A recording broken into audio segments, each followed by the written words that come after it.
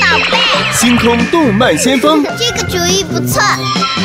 健全的理想心智，我们的时空机器五绝对是最厉害的关键的良好性格，你知道吗？我还是会想念球球，我不想离开这儿，我不要有什么改变。洛宝贝带来有趣的童年故事，太棒了！学前宝贝最爱洛宝贝，就在星空卫视。